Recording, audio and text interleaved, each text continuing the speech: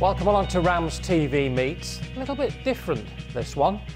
Not one former Derby County player, but two. And if you watch Derby County in the early 1990s, particularly the 91-92 season, these two names were always on the team sheet and they were always next to each other. Coleman and Comyn. Simon Coleman and Andy Comyn. Well, actually, when I say they were always on, Andy Comyn played all 46 games. This slacker only played 43 games. So I don't know what your excuses were. We'll come to that actually in a bit. When was the last time the two of you actually met? Many, many years ago. I can't, I can't even remember the last time. I don't think we played no. against each other once, once we left Derby. And I'm not sure we've. No, I think we just never crossed paths. We never had the opportunity to meet each other, did we? After that, Andy went to Plymouth. We all went separate ways. Amazing, and, and that's 25 years ago. That's frightening, how quick. It Do you think how uh, it's gone, yeah? A lot of water under the bridge in there? Yeah, just a little bit, yeah. A few ups and downs since. the, the two of you, say defensively in that season when you first joined Derby, were inseparable. Yeah, I think we formed a really good partnership really quickly. I think we were the, probably the first two signings for best part of two years at, at Derby, and we just got together. We seemed to, for whatever reason, we just really, really seemed to hit it off and, and played well together. I think maybe you were the first of the two to come in, but it was very, very quickly.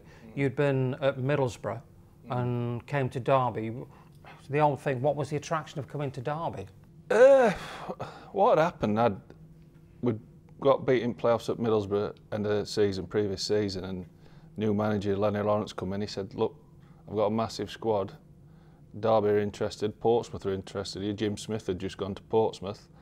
He said, "What do you fancy?" I said, "Well, obviously, I always knew Derby playing for Mansfield in A teams down at, and that you look back now, you look at Raynesway facilities was spot on back in the day, you know, and it was just, just everything. And obviously everything got sorted and then, then obviously after I'd spoke to Arthur he, he tried to sign me before before I went to Middlesbrough from Mansfield he wanted me to play with Mark Wright so everything just fell into place what about you Andy you were at Villa I was at Villa, been on a pre-season tour to um, Germany. Ron Atkinson had just taken over um, from Jozef Venglos. He obviously likes to bring his own own men in. Uh, I remember going out for um, pre-season training, uh, nice hot day, just about to run out, and he pulled me to one side and said, oh, um, Arthur Cox at uh, Derby County just, uh, just called me up, uh, he fancies signing you.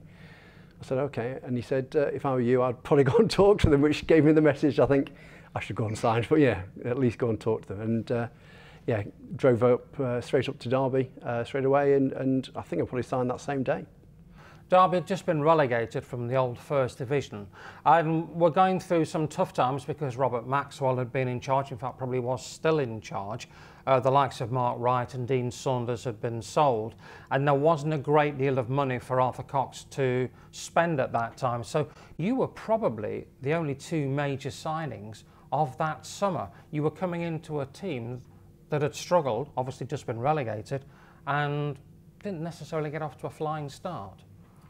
No, I remember we um, we did struggle to begin with, and I think it's probably after three or four games we had a team meeting probably one Sunday or something like that when all the players came in with, with the manager as well. And I think after that there's a few things said and, and things seemed to work out after that. But sometimes you just got to get rid of the uh, sort of uh, the bad feeling from the year before. After being relegated, sometimes you just got to get out back into a winning culture. And, and once you get you know, two or three wins on the trot, then mindsets start to change and you can start to do things a little bit differently. And it seemed to work that way, I think. I think that's why, looking back, we uh, our away record were far better than the home record. I think they had that negative feeling around the place for the home games the previous season. Like I said, they'd got relegated, and it just seemed to carry on. We tried loads of things. Arthur used to take us up to junction 28. We used to have to, used to have to pictures on a Friday afternoon or a gang of lads, you know what I mean, grown men going to pictures on a Friday afternoon. And he just tried everything just to get some results. I, I forgot about that because uh, you know, if we hadn't won on the uh, the previous weekend, you'd do something different on the Friday. So I remember going to all these different parks and suddenly all these players coming out of the cars and people, oh, there's a Derby players. And you go to all these different parks until until you won, then you keep on doing the same thing for each Friday. So was that thrashing around Allestree Park, that sort of thing? Also, we used to, all over the place we used to go, didn't we? We were like we were very superstitious. Yeah. very superstitious. Uh, he had to wear certain things if he won, and you know, everybody had their own superstition, but I think he took it to another level. I'm fascinated to know what films you'd have got and seen in the early 1990s. It, were embar- it weren't embarrassing, but you'd be in there, there'd just be us in there, probably odd courting couple. And you'd have all those, like, well, because we're only young lads at the time, really, and we were throwing sweets at each other. Like a school boys trip. So, but like he, he say it was different. He just tried, he was just trying to get a result. And that, hence, I think that's why we had better way results that season.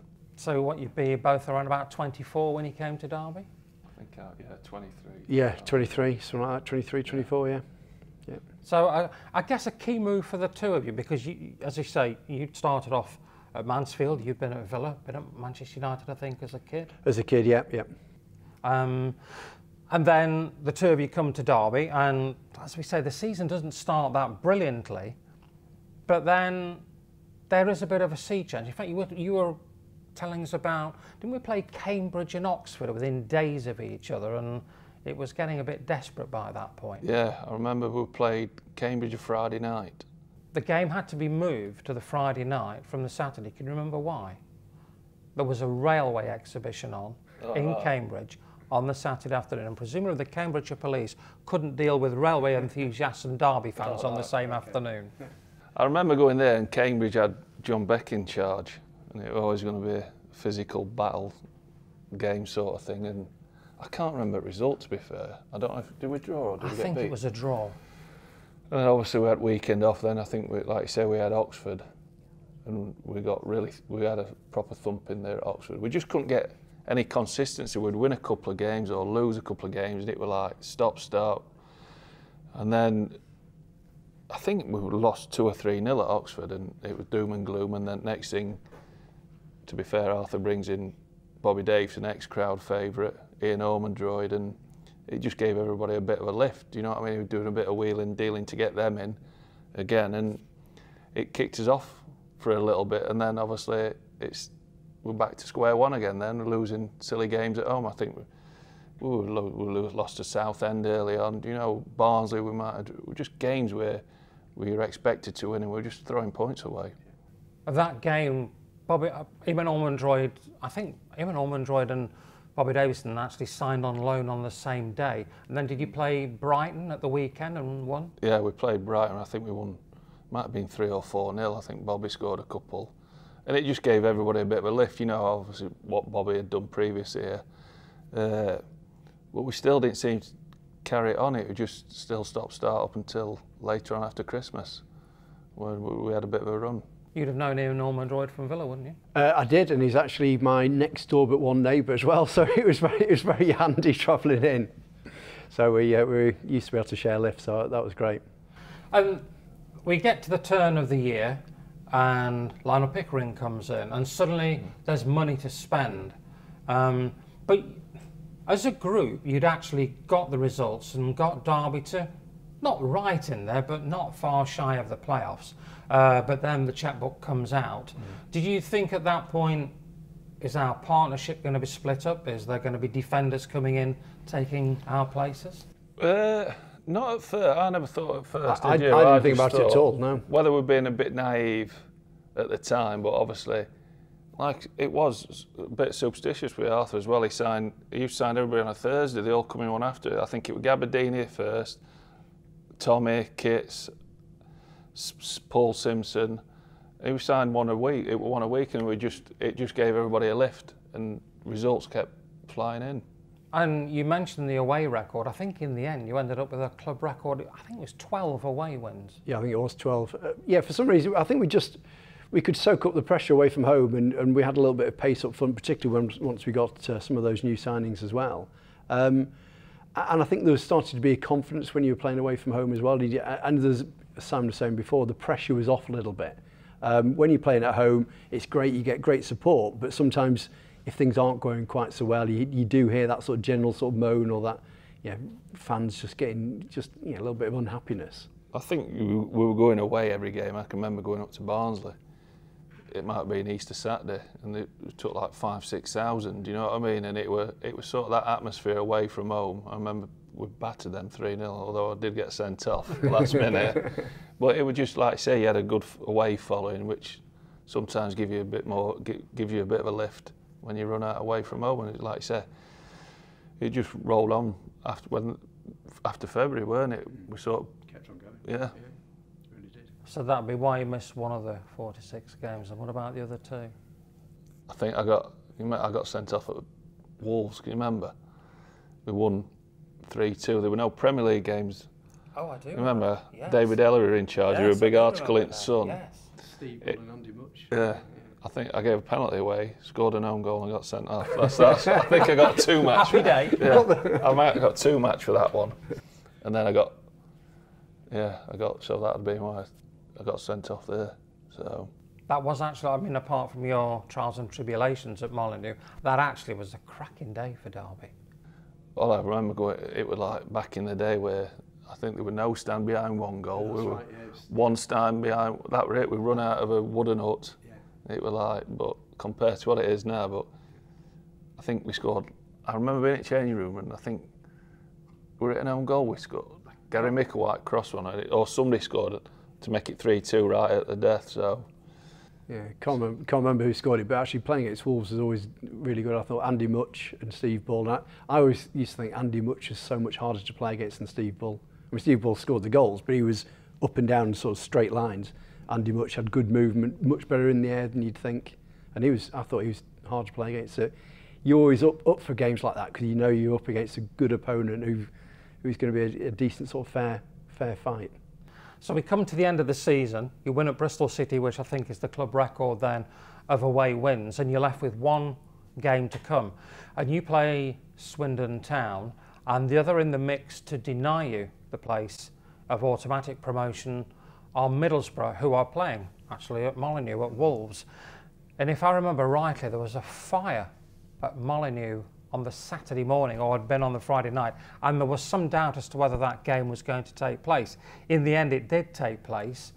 Middlesbrough won, I think, late on, and that denied you automatic promotion. Do you, you remember that weekend? I remember, I remember playing uh, Swindon here. I think we we absolutely battered them three 0 and you could just keep hearing bits and bobs while we were playing, couldn't you? And I knew they'd gone down to ten men, and funnily enough, lad who got sent off for Middlesbrough, my best man at my wedding. Uh, and we thought they're down to 10 men. I think, I'm sure they were losing. I I don't know if they come back to win 2 1, but I think it was. I think it was two one. I think Paul Wilkinson scored the winning goal, if I again remember. But it was just like, all right, you come in the changing room after you. Obviously, everybody were gutted, but you've, you know you've still got another chance. We were playing well at the time. We've got another chance in playoffs uh, against Blackburn, who'd only just scraped in. Now that's an interesting story in itself because you lost at Blackburn, I think, in February, and they were flying. They looked certs for automatic promotion, slipped away. You then got the results, got you into third place, just missed out on automatic promotion. So it's Ewood Park, first leg, baseball ground, second leg. Now I was talking about the two games to Ted just recently. Um, 2 0 up after 20 minutes at Ewood Park. Game's over, or not. Absolutely flying. We got off to such a good start. We'd finished the season well, as you said. Blackburn hadn't finished the season well. We got right on top of them straight away. As you say, 2 0 up, and then it all sort of fell to pieces. I think we could say, couldn't we? Was it two all at half time? Can you remember? I think it was. Yeah. I think so. It could have been 6 7 2. They absolutely battered us, to be fair. Mike Newell and Speedie. If I'm being honest, ripped us to shreds, didn't they? They did, unfortunately. So yeah, Uh, I think it was a hat trick from Mike Newell. So um, he just turned round so quickly, and I think for whatever reason we just let it get on top of us. And and they were very good, experienced players, and that's what he'd brought in. Kenny Dalglish, he'd spent a lot of money on on some quality players, and once they got a sniff, we allowed them that sniff. They were there, and, and their quality showed. So half time, I'm pretty sure it was two all. What did Arthur Cox say to you in the in the dressing room at half time? Stick with what you've got. Don't let them score again, because of course away goals count a double in the playoffs in those days. Or was it try and sneak a winner? I think where it, it turned round, I think what I can remember, we, we were still, we never thought about keeping what we'd got. Do you know what I mean? It was sort of like, well, we can score again. We, we had, like I said, we got Tommy Kitts, Gabbiadini. We had goals in the team. It, we, we were never thought, let's just sit back.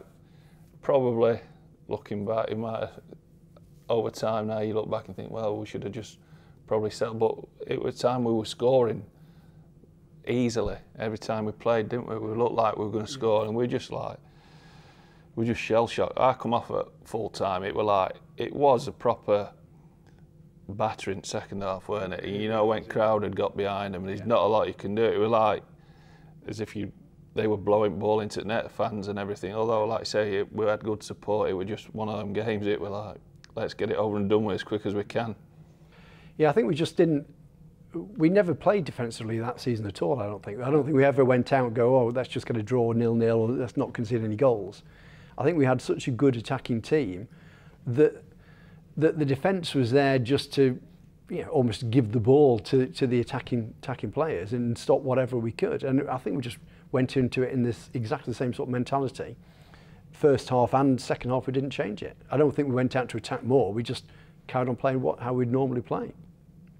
Just on the two of you, how quickly did you feel that you got a combination? Because you'd never played alongside each other before. Arthur Cox clearly saw something in the two of you individually, but I guess it's always a bit of a gamble. Is it, is it going to work? Uh, was there a leader of the two of you? Uh, I don't know. I'd probably say I'd, I'd played quite a few more games than you, and then I'd, I'd probably played by that stage 150 games at 22, 23 year old, being in playoffs. Uh, obviously, I was captain a few games when. So, but now it was just sort of as soon as we got together, we roomed, didn't we? Yeah, yeah, we did. First away game, you room together, and you just sort of like get a partnership. You try and get as quick as you can. Obviously, we had Mickey Forsyth, left back, who great player, Mickey.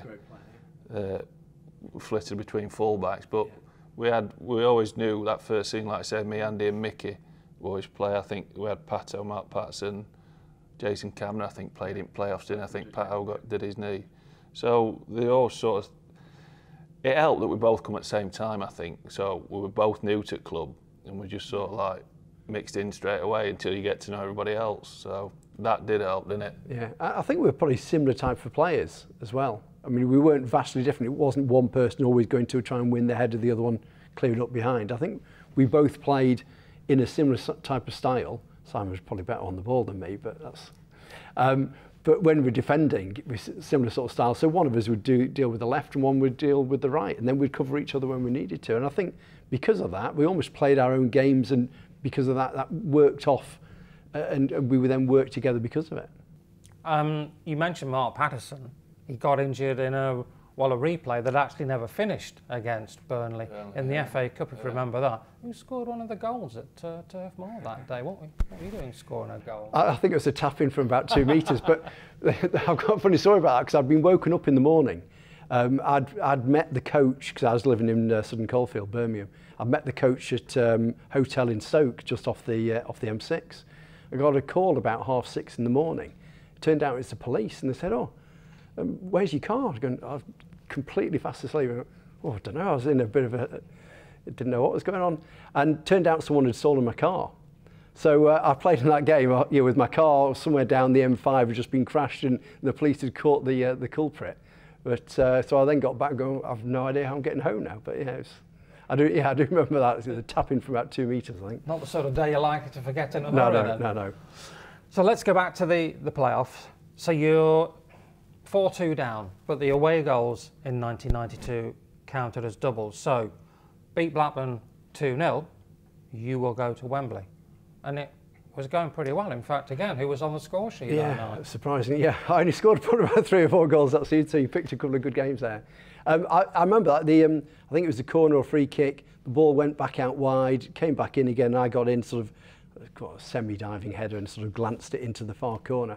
Um, so it started really, really well, and I think again we just just didn't sort of drive home that advantage in the best way that we you know, we uh, should have done. I think it was um, Well, we got in at half time. It was 1 0 to 1-0, us, wasn't yeah, it? yeah, 4 3. yeah. Then, probably first five minutes at second half, they had a corner or a free kick. And it was a cheap goal we gave away, to be fair. Where there were about three of us stood underneath it, and he just come nearly on line, and we should have dealt with it better. we didn't attack it.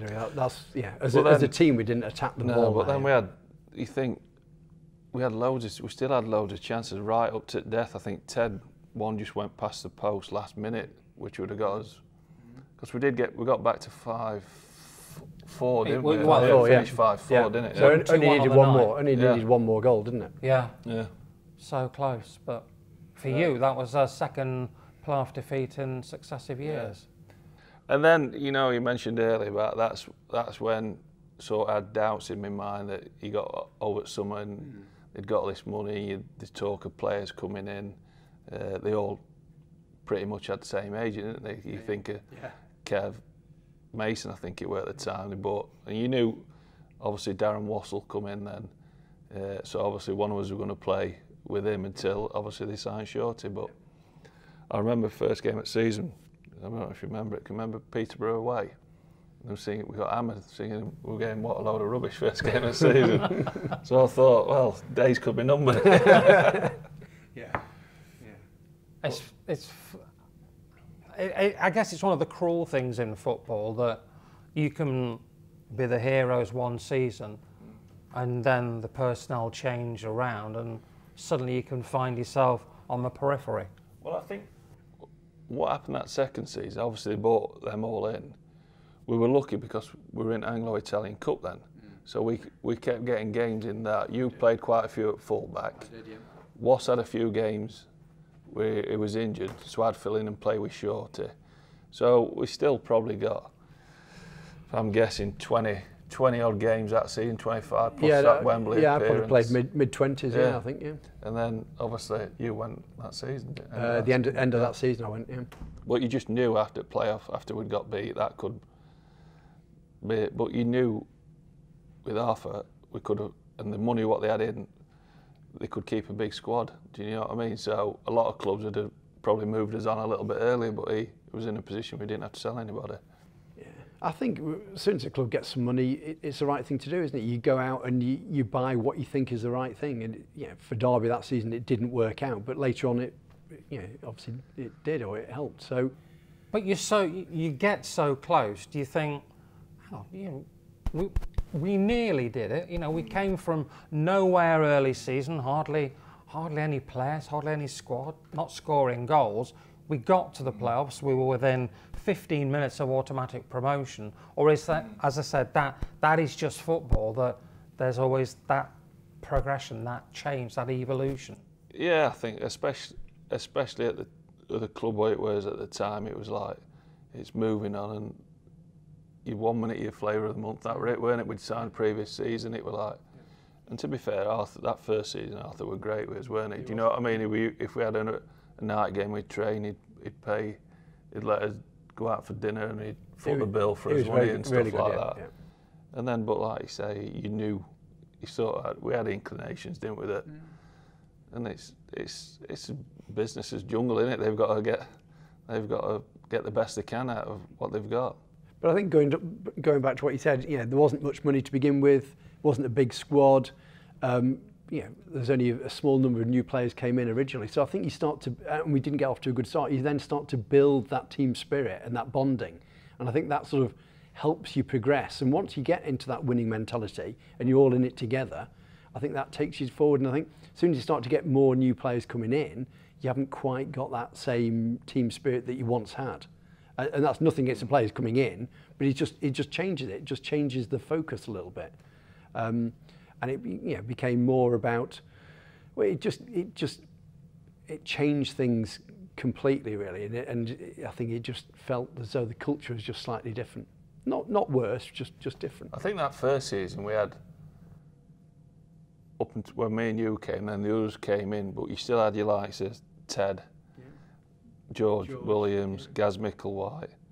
I mean, You haven't mentioned the goalkeeper But yet, Mike have you? Forsyth, yeah. No, Peter, Peter Schultz. Schultz, yeah. Schultz, yeah. Yeah. yeah, you forgot about Shilts. Yeah. How can you forget about Shilts? England's number one. Yeah. yeah, that had slipped my mind. That. yeah. And he signed you at Plymouth. He as did well. sign me at Plymouth as well, yeah. you were never going to sign me. You were always favourite. Yeah. Um, so okay, so it the season goes on, the second season. You did get to play at Wembley. Yeah, Yeah. I mean that were great experience. Not just the Wembley game. It was all of those, Wembley isn't was it? a bit of a Yeah. didn't play. We were well, awful at Wembley, to be fair. They, they were a good side, Cremonese. Cremonese, They, wasn't well, I it? think 3 won Serie B, didn't they? They, they had a good, They good us- striker as well. I can't Yeah. think who it was, but he was a really Yeah. good player as well. Yeah. They beat us here, didn't they, in group stage? But just to go over to Italy and play, great experience. And for like I said, we're still young lads, and it was great experience. And like I said, we went to Wembley, but we had a couple of good games before. Can you remember Brentford? Yes. They were good games, two-legged affair. That they were great games. I think Matt Patterson scored there. He might have scored there. I think you won at Griffin Yeah. Park and they won at the baseball ground, Yeah. but you again won by Yeah, the, the biggest more, yeah. scoreline, the Mm. aggregate scoreline. So yeah, like I say, a good day out at Wembley really for the fans, weren't it? But a bit of a odd one really, because I'd played 1990 in Zenith Data Cup, not another major cup, against Chelsea, and there were 80,000 there. And then to go back with Derby, with Derby sold their allocation, I think Cremonese bought a thousand in a little corner, and it was a bit of a strange atmosphere. But no, it was a good experience. I experienced a lot of for a lot of the players, of course, who would then go on to play in the playoff final the following year against Leicester. Although Mm. again that ended in defeat. So moving on from Derby for you, it was to Plymouth. Was to Plymouth uh, again. Just got a I got a call from uh, Peter Shilton. Um, he'd spoken to uh, to Derby and uh, said fancy coming down. I, I can remember driving down to Plymouth, and he got to Bristol. I think, God, I'm only halfway. It's a hell of a long way, but it's a beautiful place. You wouldn't say it's a hotbed of football, but actually the support was really good. Had a really good setup there, and that first season was very similar to the first season at Derby, where you know, it all went really well. We came third and missed out in the playoffs again, and it went to the last game of the season, thinking uh, Reading may not go up, and yeah, unfortunately they did. So it was a very similar experience, and not not what I want to repeat again, unfortunately. But yeah. So you both had a bit of ill fortune with playoffs, really. Uh, yeah, yeah, afraid so. I, I, it's a long, hard summer as well. Once you go out in the playoffs, it's really difficult to then because you think about it the whole summer, and it does play on your mind. So I, I can then see why there is a, yeah, players come back who have, who've just lost in the playoffs and, and don't perform quite as well, or as a team don't perform quite as well, because you are thinking about it for two or three months you know, throughout that whole time. For you, it was on to Sheffield Wednesday. Yeah, uh, that end of that second season, he put Arthur put quite a few of us on transfer list, and I remember thinking there were a chance possibly with Big- Birmingham that summer. They were talking me and Ted going to Birmingham. It had never come off, and it was strange really because it was at a time when Premiership clubs couldn't sign Premier League players on loan. And I remember I'd been injured, and I've just started training again, and Roy come into the treatment room. Gordy's giving me a bit of his heat lamp, what he used to have. Heat lamp and massage. I mean, and I thought Yeah. it was stri- Roy coming. He says, Roy were in charge at this time. He says, where are you going now when you leave here? So I'm going home. Why? I thought, we'd not seen eye to eye for a while, Roy, me and Roy. And I said, I'm going home. I said, right. So I wrote my mum's at, my at the time while I was selling my house from Middlesbrough. And uh, phone went.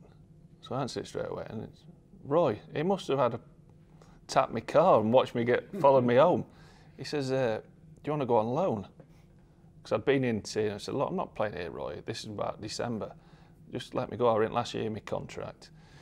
He rang me up. Do you want to go on loan? I goes, "You know I want to go on loan. I've been speaking to you about getting away and playing." He goes, uh, "Torquay want you on loan."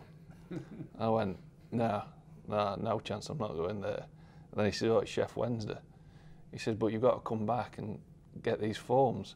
So I don't know whether they'd done that. That were coincidence because I know Trevor Francis had rung up at the weekend.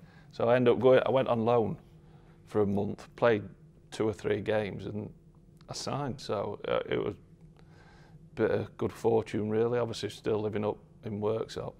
And it, obviously, Wednesday that season, I had a, had a great side. To be fair, I went. I wa- walked in change rooms, and we'd, like I say, we had a good. We had some good footballs at Derby then.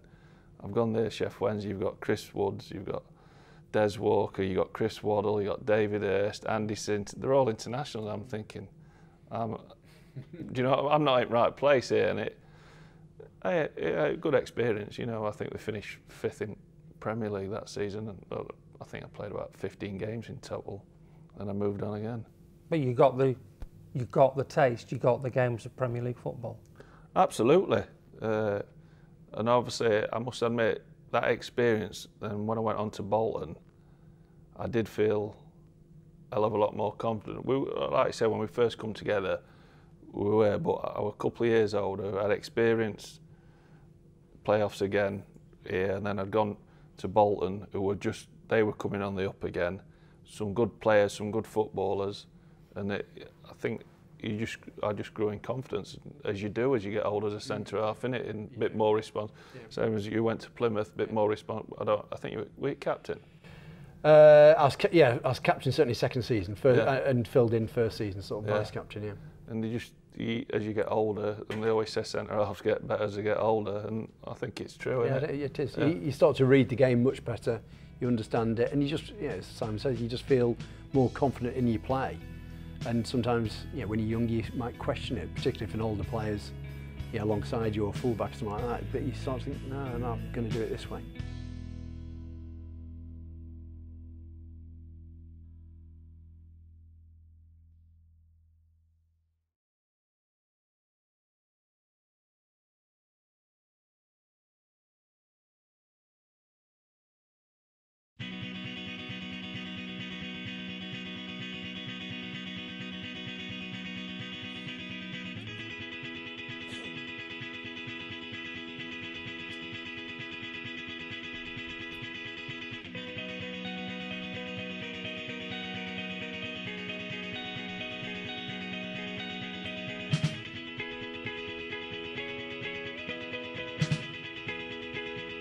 Now Bolton, I guess in a way it was a bit bittersweet because they got promoted, but you missed out on that bit from a rather painful afternoon back at the baseball ground.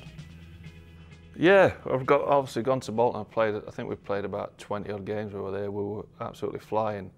I mean, I don't know if it, you speak to Bruce Rioch and thinking, no coincidence. I'd gone. We had blown my own trumpet. We'd gone there. I, there were probably six from bottom. The weekend I broke my leg. We'd just been top at league things were going really well. Uh, I'm playing with Alan Stubbs. We had a really good footballing team, some good players, good goal scorers, and it obviously back here, obviously quite excited about coming back to baseball ground, playing here again, and so like I say, I thought I did well while here, especially that first season. So looking forward to it, and then it all went a bit pear shaped really, and so it didn't stop my career, but it, it, it, did 51 weeks I missed in total. So just it's one of them things, part and parcel of the game, I suppose.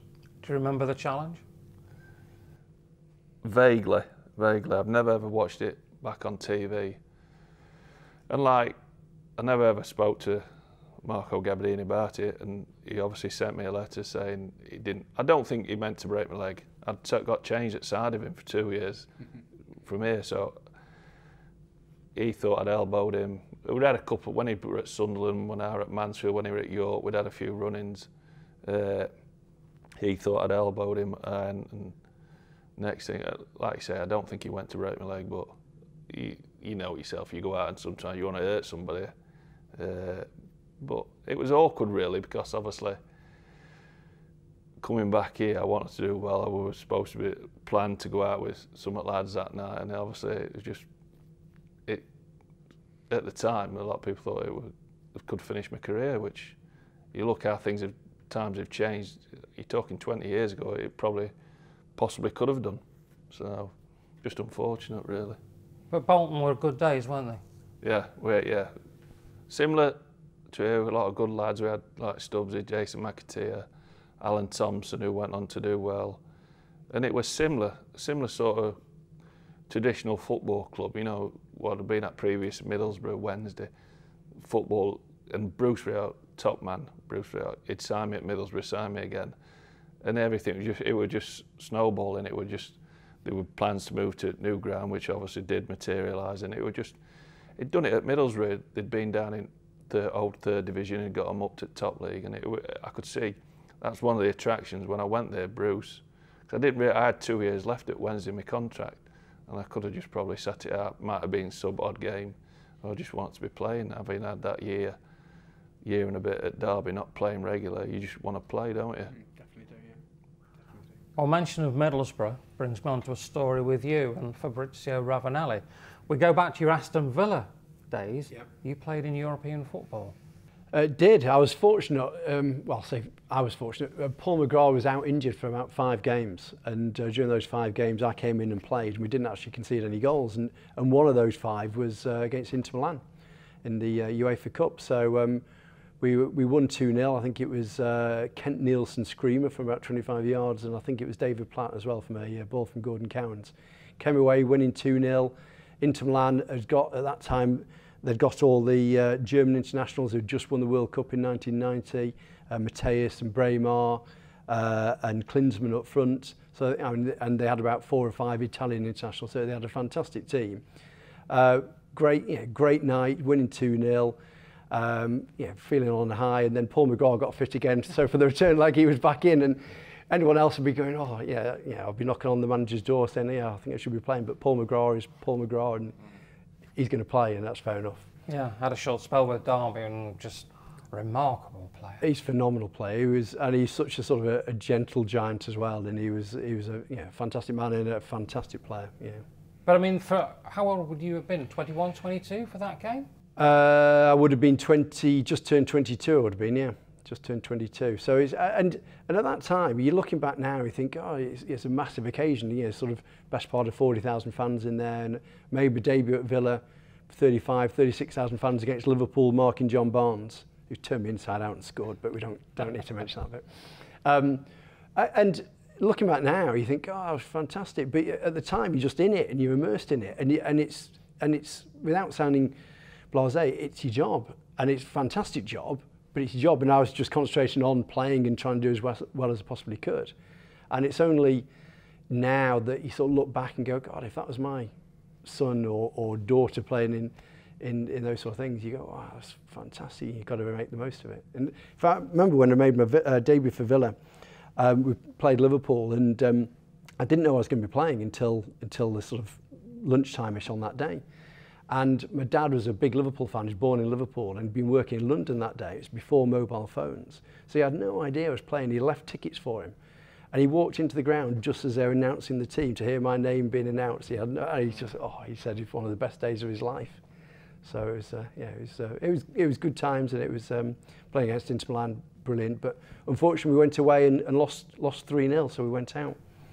But then roll forward to 1997 and you're playing non-league football for Hednesford, yep. and you have a great run in the FA Cup, and you come up against Fabrizio Ravanelli and Middlesbrough. Yeah, uh, Ravanelli, uh, Mikkel Beck, Juninho, Emerson. I mean, they had some really quality players. Brian Robson as manager, they had a, a fabulous side at that time.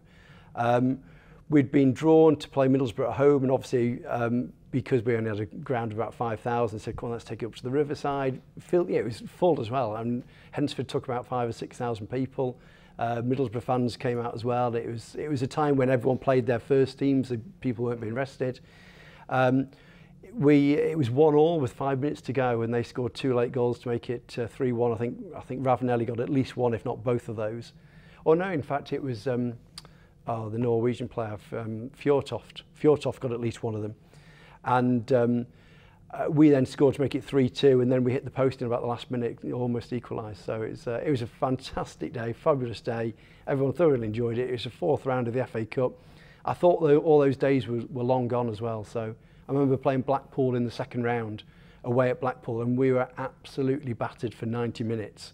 Scored with about two minutes to go. Our goalkeeper, Scott Cooksey, had an absolutely world-beating day and uh, we end up winning 1-0 and just just the experience of those it was just brilliant because you think those or I thought those days were long gone at that point. And uh, it was it was a great feeling.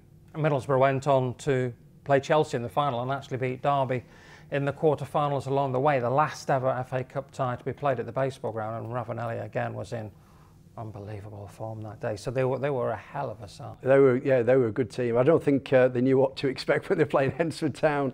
They probably had no idea where we were from certainly. Yeah. So the two of you, once football comes to a close, for you, you'd been studying years ago. In fact, I seem to remember you came to Derby and you got a phys physics degree. Was that right? Uh, that's right. Yeah. So my my early football career was just playing sort of schoolboy at Man United and uh, and Blackburn Rovers.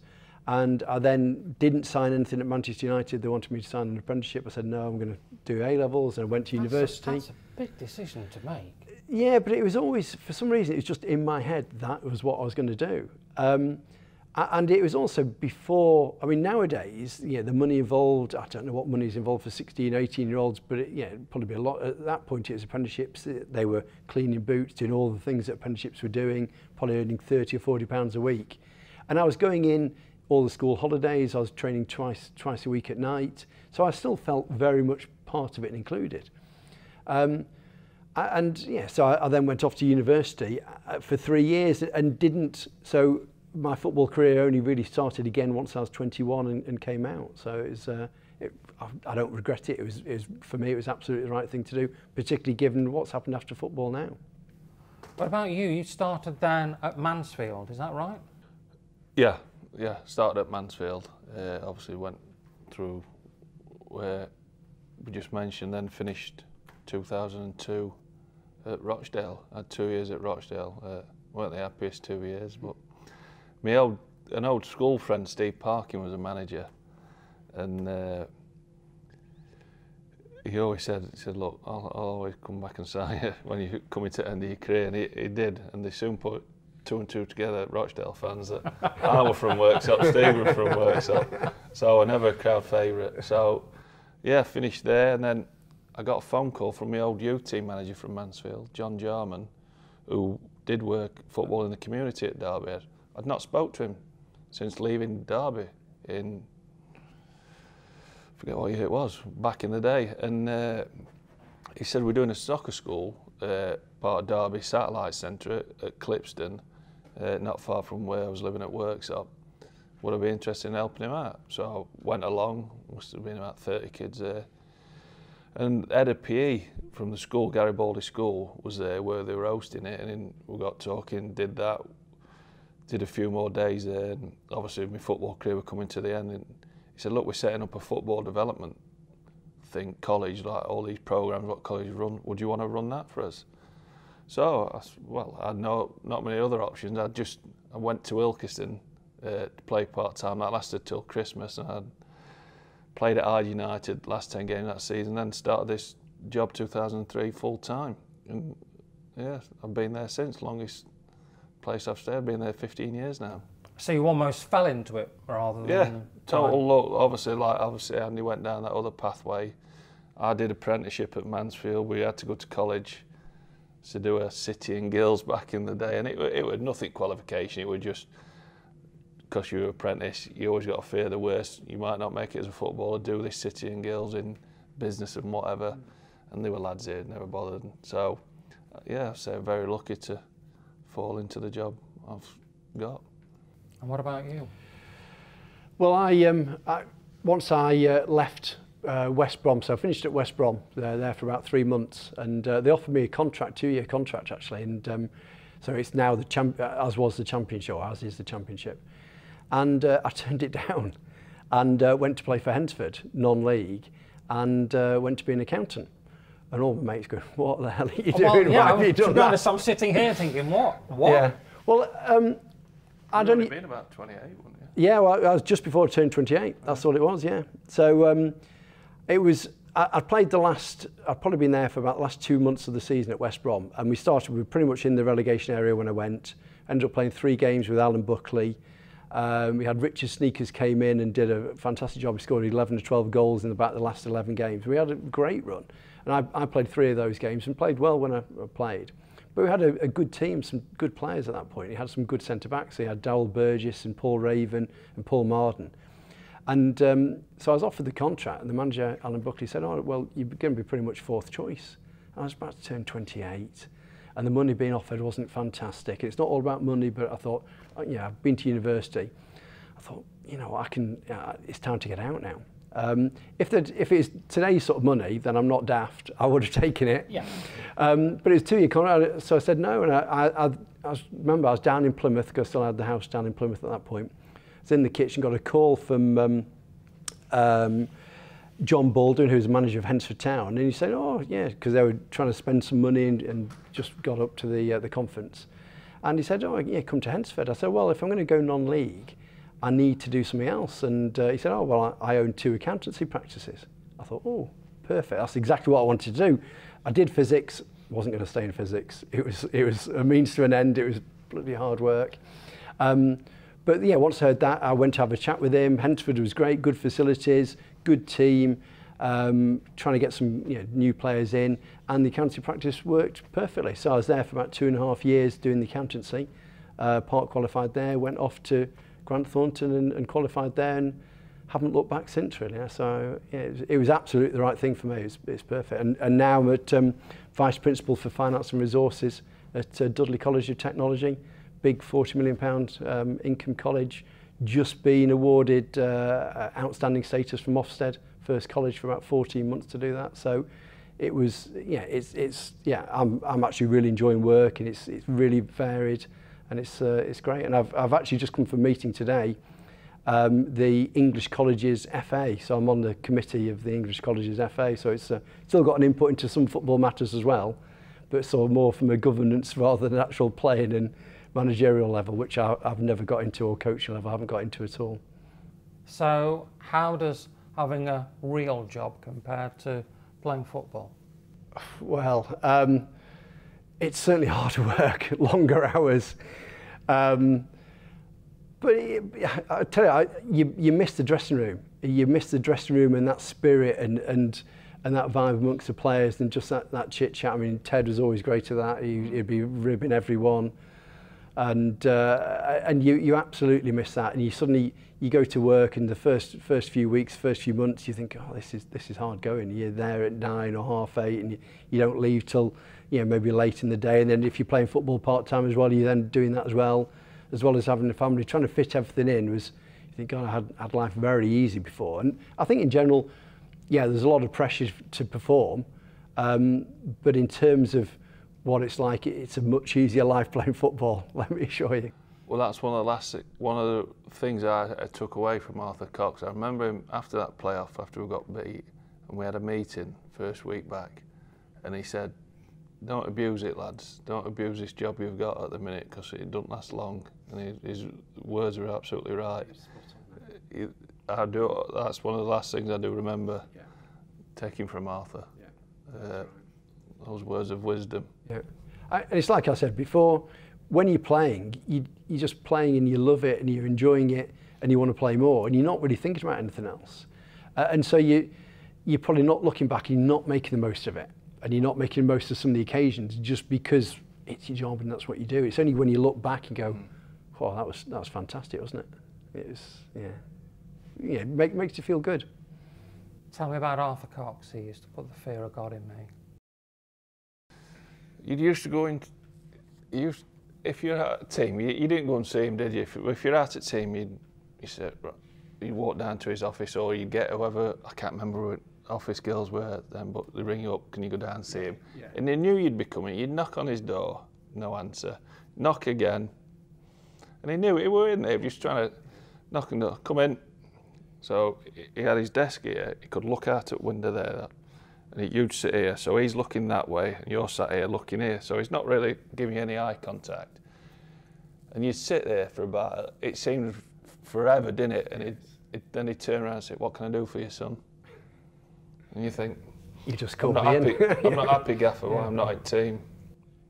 Then he'd pause, look at us when he said, what do you want me to do about it? Well, is any clubs interested, blah, blah, blah.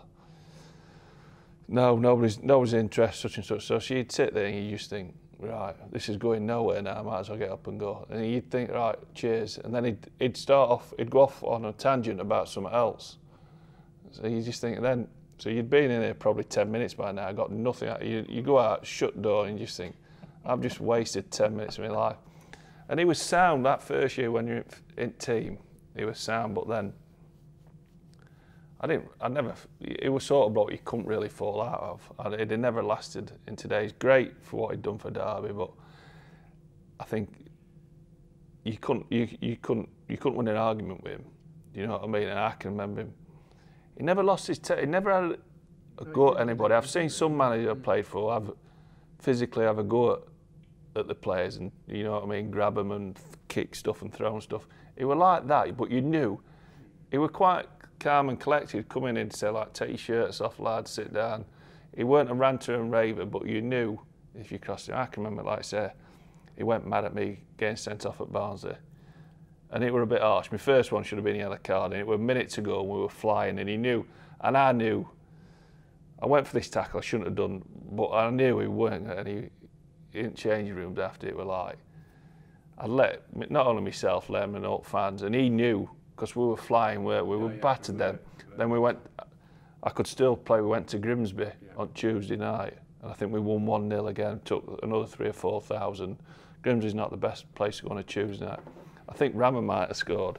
Oh my word, that yeah, first. So, but he was like, and then, but then you weren't in his first team. And, and to be honest, Andy, if I'm being honest, that year we got to Anglo he sort of uses because we, we'd play on Wednesday night in Italy, and he wanted to win Pontins League or Central League, as it were. Yeah. He wanted to win that. So we'd have to play again. Yeah, yeah. Do you know what I mean? There was no way we were playing on Saturday. And he'd say, I can remember him saying to me, he said, oh, we'd come back from it to East Midlands about three in the morning. He says, oh, Middlesbrough tomorrow night. We'll pick you up, junction 30 where I used to get on bus. Uh, got a club coming to watch you. And I, I, at time you just think, oh God, please a chance to get away like, and you'd go up there and you'd play and you just think, looking back, it must have been so naive to believe it. It was probably a little hook, wasn't it? Just yeah. go, oh yeah, come on, I'm going to yeah. do that. I'm so you know you're yeah. going track because he wanted to win Central League, and we did, I think, that year. I, yeah, I can remember two particular stories. One was, um, it was at Boxing Day, and he was just, he was absolutely passionate and committed to football and Derby completely. And uh, it was Boxing Day, and we were met at the hotel Junction 28 off the off the M1. And uh, he was saying, I, I was. Uh, I was watching the I was watching the video yesterday of you, and uh, he then started chatting me through about what I should have been doing. It was only over dinner I started thinking, God, he was watching it yesterday. That was Christmas Day. It was Christmas, yeah, and it, and that's what he was like. And I'm sure he was telling me the truth as well. He probably was watching a video on Christmas Day about me, about how I can improve and what I should have done. And the other one was um, when I scored that own goal against Bristol City. And uh, yeah, probably the quickest own goal on record on the pitch for about five seconds, live on TV on, on Sunday. Oh, we got battered, didn't we? Well, it, well, we were, we were leading, weren't we? And Simo got his hat trick. I think we, he went in net. Uh, Paul, Williams, Paul, Paul Williams went it. Four two. Yeah, uh, four three. Four three. Yeah. So I, I came on. It was two all. So we were leading two 0 They got it back to, to two each, with about 15 minutes to go, he, he sends me on and said, right, just play in front of, of the back two. I think you, you, were, you were playing, weren't you? Yeah, you were playing. I, I can't remember what you were saying. Yeah. And, uh, and so, yeah, walked on and it was, uh, it was a free kick round the halfway line. Comes over, bounces once. I come in to head it out for a corner, comes right off the side of my head, straight in the corner. And I, I've seen a picture, Paul Williams, he's about that far behind me, ready to catch the, you know, catch the ball. And I basically headed out of his hand. So the following, you know, we, um, we went down the other end. Paul Simpson scored a hat trick to make it three each. They scored in the last minute, something like that, to win to win uh, four three. I think um, um, I can't. Allison, um, Allison was it? Wayne yeah, yeah, Wayne Allison. Yeah. But the next day, he had us all in. The next day, went into the, the boardroom, something like that. So we're all in the boardroom, puts the video on, plays it all the way through, gets to the whatever minute it is, you know, the 75th minute he plays it, rewinds it, plays it again, he rewinds work it. controls yeah. properly. plays, so it. it's got it. We all know what's coming there, and Andy, it shows you Andy coming because yeah. camera you're on central, you know, when he's yeah. plays suddenly. Yeah.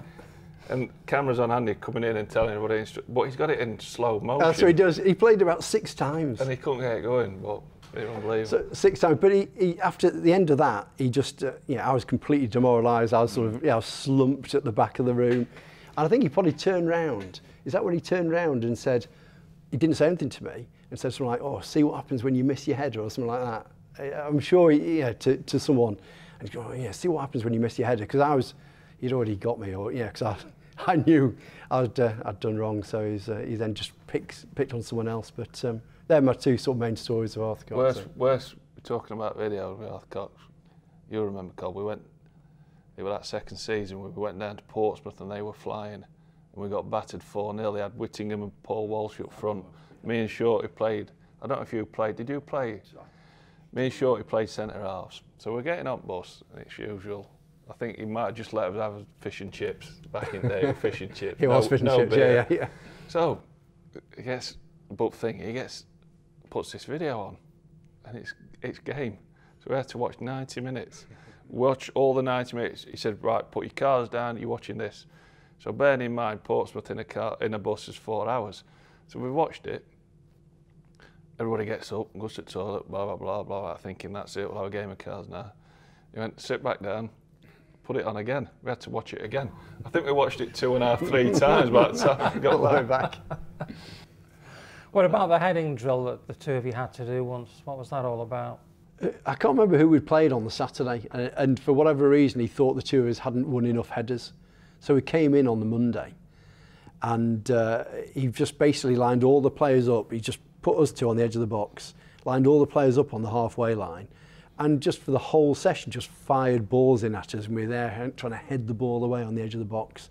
Then you get to the edge of the six yard box and it be coming in even quicker. Then you'd be on the line, the two of us, and they'd just be firing balls from the edge of the box. And if you tried to duck out the way, because yeah, he, No, that- he'd just carry on for longer. And if it weren't that, if if if we'd have lost on Saturday or back forward give a goal away, you'd do shooting practice. You'd be driving in doing shooting practice, and there were us four on on line. Basic balls rolling into Arthur, and lads were just blasting it mm. as hard as they could. And we had to stand.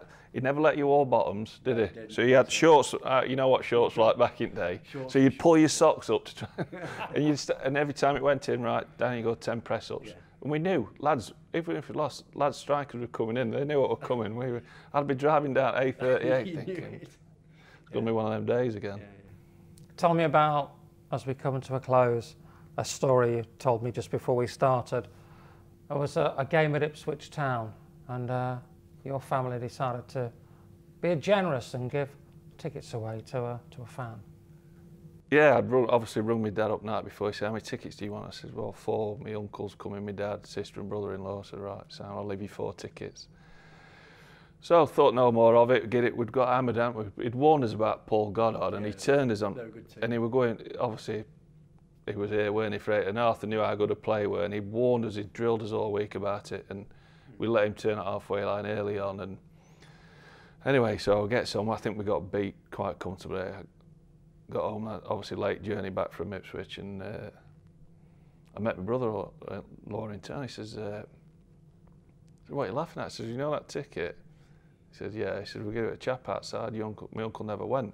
I went, "Oh, all right." He says. Uh, he said, all this bloke did for 90 minutes was slag me off. He says he'd gone all that way just to slag me off. I said to brother-in-law, I said, what did my dad say? Didn't my dad say anything to him? He said, no, he agreed with him. but no, that back in the day, weren't it? I, he, he, he loved Paul Goddard for what he'd done here and everything. And it was all week, it was like, don't let him turn, don't let him do this, don't let him do that. In the first five minutes, he'd done what everything. exactly what we, we were meant to do, yeah. yeah. So 25 years on, you're both nearly 50. Say it quietly. Yeah. Sorry. How do you reflect on your days at Derby? I, to be fair, I enjoyed the first year really were good. Second year was still good because we still like say Wembley, you're still playing, and and to be honest, it was a really good dressing room. We'd finish training and we'd all just hang about, have something to eat, or we just we just to rib each other in changing room. So fantastic. And then obviously up until leaving, it was like I want to get away as soon as I can. It, and it gets like that's not just Derby. Mm. I just knew when I was leaving Middlesbrough, I was coming to a club which is probably a lot bigger than Middlesbrough, what they'd done in the past, the players, what they had played here. Obviously, I played with Colin, under Colin Todd at, Dar- at Middlesbrough. He was an assistant manager, then manager. So I knew what I was coming to. Really enjoyed it. It's just, like I say, you don't, at the time, you don't, young lads, you don't really appreciate as much as you should do. Yeah, I, I had a great time, and Simon said that first year was fantastic. I was uh, ever present in the side. Uh, we had a great run. We should have got promoted. We missed out. Second year was not quite as good, but again, you, you're heavily involved. Uh, and and for me, yeah, I look back at my time at Aston Villa, and then Derby, and then probably the first year at Plymouth, and th- yeah, they were absolutely the best parts of my my career. And, and the time at Derby that first year was was, was brilliant. I yeah, really enjoyed it. And yeah, the, the time in the dressing room, and I think Ted probably made it as well, didn't he? You just you always got to have one or two lively people in there to stir things up, and it, and he was good. But just the interaction, Yeah, with Gordy, Arthur Cox, yeah, Roy McFarland. It just had a, a real good mix of, of players and staff, and it was uh, it was happy times. Well, it is 25 years ago. It's time has flown. Right. It's great to see the two of you again. It's been been a pleasure. Thank you very much. Cheers, Carl. Thanks a Yeah, lot. cheers.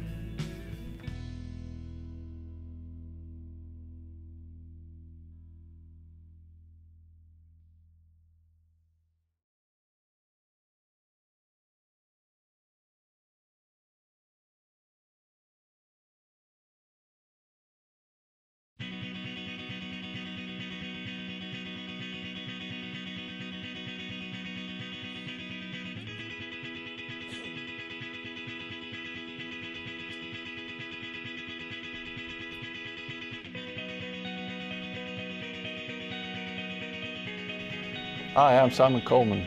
Hi, I'm Andy Comyn. It's 25 years since we played together at Derby. We haven't seen each other at all in that time. So come and join us as we relive our memories on Rams TV.